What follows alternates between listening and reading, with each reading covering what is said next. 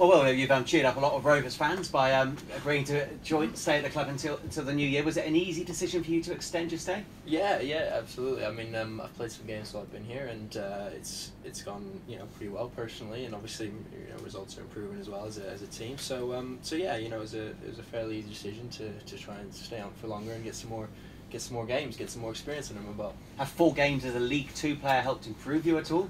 Oh, definitely. You know, I mean. Uh, but having not, not played any competitive games in such a long time um, from my injury, uh, it definitely, you know, it's a learning curve, a pretty steep learning curve to play league football, proper league football, and uh, you know that's why I'm here. So uh, absolutely playing playing proper games for a proper team, and you know, that, that really matter and that really really are very very important. You know, it, uh, definitely helps you grow as a player. How much have you enjoyed playing alongside Tom Parkes at the back? Oh, definitely, definitely. Parkes is a good player, you know, and he obviously leads the side, you know, you know very well, and. Um, it's uh, it's one of those where the more time you you play with someone, the better you get to know them and how they play and their strengths and their weaknesses, and uh, you know hopefully that uh, that partnership can only get better.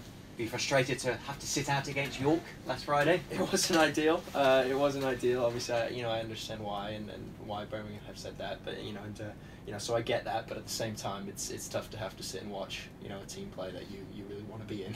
yeah, is it is it flattering that Birmingham don't want you being cup-tied because it, it bodes well for the future at, at Birmingham? I guess so. Yeah, you know I mean it's it's nice to know that they obviously have, have plans that they don't want to want to be sort of um, you know sort of taken up, and uh, you know that, that's obviously nice to know from from my parent club. But uh, at the same time, obviously, you know I I, um, I want to play, so uh, it's tough to not not what's, be able to play. Yeah, what's life like as a loan player? I mean, you're very much part of the Bristol Rovers furniture right now, and you will be till January. Do Birmingham keep in touch with you while you're away? How, how's it work? Absolutely, yeah. They send they send someone to near enough every game that I play for Rovers. Um, you know, with the obviously with their their point of view being to, to keep monitoring my, my progress and to try and to basically make a decision when they feel you know they, they would like me back. Um, obviously with the with the new loan deal they can recall me. Um, so from their point of view they're keeping tabs I guess and um, you know they'll they'll make a decision for, for when they want me back.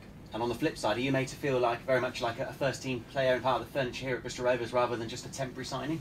Yeah, well, you know, of course. I mean, when you're here and when you're when you're playing games, you know, that's that's who you are. That's that's what you're here for, and that's obviously that's what I'm focused on. And um, definitely, I mean, the club make you feel as though you're you're here to play for them, because you are, you know. And so that's that's your job. And um, obviously, we all need to go out and do our jobs. How much are you enjoying playing in front of the Bristol Rovers supporters? I mean, packed behind that Blackthorn terrace, and they're quite noisy, aren't they? Absolutely, it's a great, you know, it's a great place to play. Definitely, um, you know, having played at you know a fair few places, it's a, it's a great place to be. There's a massive, there's really quality support, especially you know, especially in that big stand, which um, you know, thankfully I get to play, you know, play in front of, you know, and so it's uh, it's good. It's definitely they're get, get right behind the team. Really. There's a, a lot of youngsters at the club. I mean, you're still young, but I suppose when you've got like the Tom Lockyers who are really coming on leaps and bounds, I suppose your experience is required at the same time.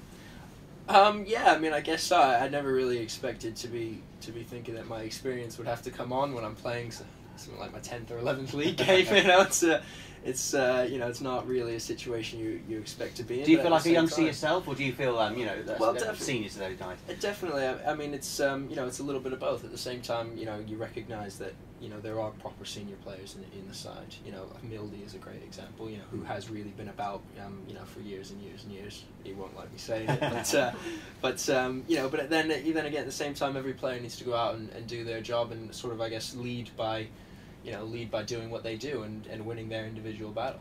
And I guess um, when you've got a game against Bury, neither you or I are an authority on Bury. So how much do you rely on the coaching staff to, you know, tell you about the opposition that you're facing? Absolutely, absolutely. I mean, they're very professional in the way they do things here, and um, you know, they have they have the team watched uh, previous weeks, and you know, we have uh, our I guess our scouting report, um, you know, from the team that's that we're that we're about to play, and um, you know, that's that's how it should be because you know, it's important to know the ins and outs of who you're going to be playing against, and um, you know, every little helps when it comes Saturday three o'clock. And Rovers at the moment down towards the bottom of the league, but it'd be nice when you when you leave and go back to Birmingham if they're a lot higher up the table. Oh, it would be massively. Um, there's a lot of games in a very short amount of time, um, especially in this time period, and uh, you know, it's something that we're targeting.